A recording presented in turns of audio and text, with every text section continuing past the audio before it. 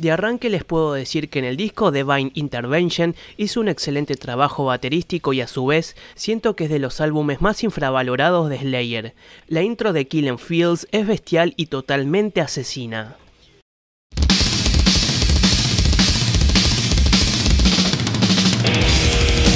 También en Mind Control, Paul graba unas bases de doble bombo y feels totalmente alucinantes.